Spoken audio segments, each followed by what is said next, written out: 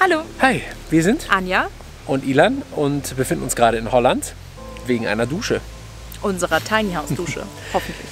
Genau, hoffentlich unserer künftigen Tiny House Dusche. Und zwar nicht irgendeine Dusche, dafür sind wir ja jetzt nicht extra angereist, sondern um die erste für mich zumindest oder für uns die erste Showerloop-Dusche mal live zu erleben. Es war ja für uns total wichtig, in unserem Häuschen den Wasserverbrauch so gut wie möglich zu reduzieren und fanden dieses System der Wasseraufbereitung total spannend. Schauen uns das heute an. Wir nehmen euch mit. Hier wird nämlich ganz klar zwischen dem Duschprozess, ähm, also mit Seife, und dem Wellness-Faktor, also des länger Duschens, unterschieden. Und wie das Ganze funktioniert, das zeigen wir euch jetzt. Ja.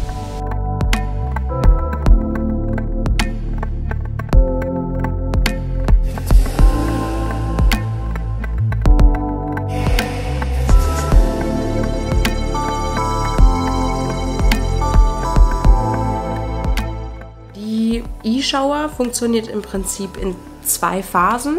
Einmal mit der Handbrause, die einen Durchlauf von 6 Litern pro Minute hat. Hier wäscht man sich mit Seife, mit Shampoo, reinigt sich also von dem groben Schmutz. Wenn das dann vorbei ist, kann man auf Shower Loop umschalten. Das Reservoir bzw. dieser graue Smart Stop, so nennt man ihn, fährt dann runter. Das Reservoir mit einem Fassungsvermögen von 3 Litern läuft voll und sobald der Punkt erreicht ist, schaltet die Dusche automatisch auf den Regenduschkopf um. Egal, ob das jetzt 15 oder 25 Liter sind.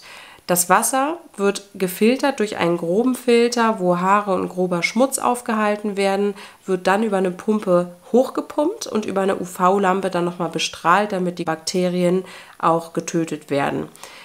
Während des Showerloops werden dann konstant 10% des Wassers oder also abhängig vom Duschkopf zwischen 1,5 und 2,5 Litern Frischwasser zugegeben, damit dann auch das Wasser immer temperiert bleibt und pro Minute immer klarer wird. Da sieht man jetzt nochmal den Filter ganz gut. Der große runde Knopf ist im Prinzip der Start- und Stoppknopf des Duschvorgangs. Auf dem Display kann ich natürlich noch Einstellungen vornehmen.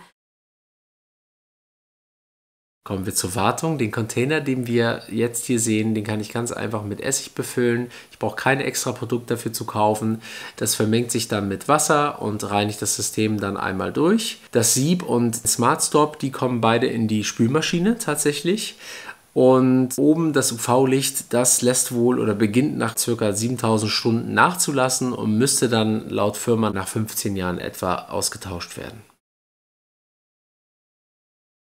Die Handbrause läuft mit 6 Liter pro Minute und abhängig davon, ob ein 15 Liter oder 25 Liter Regenduschkopf verwendet wird, werden pro Minute etwa 10 Prozent, also 1,5 bzw. 2,5 Liter Frischwasser verbraucht. Die Reservoirs haben alle ein Fassungsvermögen von 3 Litern, unabhängig von dem Regenduschkopf, den ich verwende, ob 25 oder 15 Liter. Um zu ermitteln, wie groß die Wasserersparnis jetzt für jeden Einzelnen tatsächlich ist, hilft es total, erstmal rauszufinden, wie lange wasche ich mich tatsächlich, da hier ja beides getrennt wird. Also das Ganze dann mit 6 Litern pro Minute einfach mal hochrechnen und dann den ja, Wellness-Vorgang, das unter der Dusche stehen, das länger genießen, dann nochmal mit entsprechend 1,5 oder 2,5 Litern pro Minute dazu addieren und mit dem aktuellen Verbrauch gegenrechnen. Durchschnittlich werden bei herkömmlichen Duschköpfen oft 9 Liter pro Minute verbraucht, so die Info, die an uns weitergetragen wurde.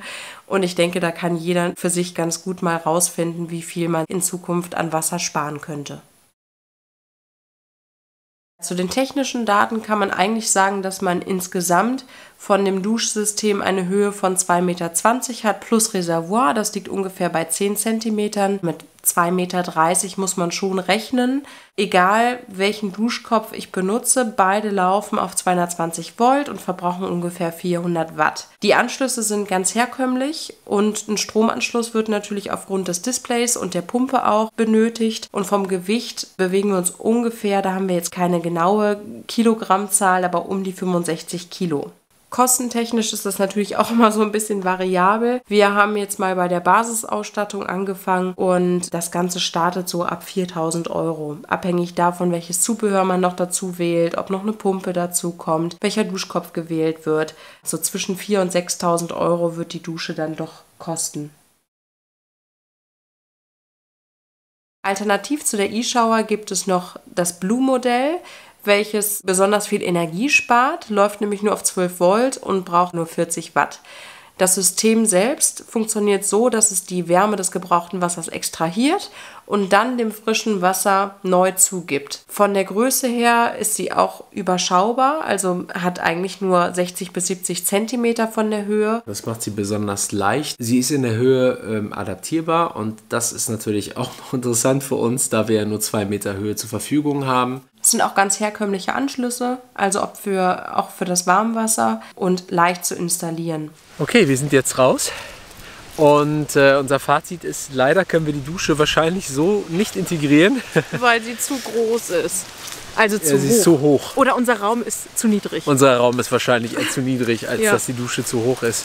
Also Ähm. 2,30 Meter müsste man schon einplanen. Ähm, ja, das hätten wir vorher einplanen müssen, dann wäre das aber auf Kosten unseres Schlaflofts gegangen und da weiß ich nicht, wie wir uns im Nachhinein entschieden hätten, aber es war total wichtig für Ja. uns, nicht nur das Produkt digital kennenzulernen, sondern auch, die, Menschen. Ja, wir sind ja aber auch Menschen. Und Total. Ja, es ist einfach schade. Es passiert jetzt noch einiges ähm, Mhm. auf dem Markt. Das Thema Tenside ist und bleibt das große Problem. Aber die Entwicklung geht trotzdem voran. Ähm, Ja. Es gibt halt noch nicht die Lösung von vornherein, das Wasser nachhaltig in einem Kreislauf so aufzubereiten, dass die Tenside, ob durch einen Filter oder ähnliches, in den Griff bekommen werden können. Und da müssen wir einfach abwarten und darauf hoffen, dass irgendwann ein Produkt, welches wir dann auch für uns einbauen können, welches ultra leicht ist ähm, und wir nicht wie bei dem, wie bei dem Shower Loop System, welches ja auch als Open Source Produkt online verfügbar ist, alle zwei, drei Wochen auswechseln müssen, weil einfach tatsächlich diese Seifenreste schwierig sind. Ja, aber es gibt, äh, es gibt immer noch Hoffnung. Also vielleicht können wir die Dusche noch ein bisschen verkleinern ähm, von der Höhe. Also auf jeden Fall war es eine, eine tolle Sache. Es war Ja. gut, dass wir hergekommen sind, dass wir uns das mal ansehen durften. Wir verlinken euch die Website auf jeden Fall unten nochmal und hoffen, dass ihr auch durch unsere Übersetzung und das Bildmaterial euch ein bisschen was rausziehen konntet. Und äh, ansonsten sagen wir bis Nächste Woche. nächste Woche. Tschüss. Tschüss.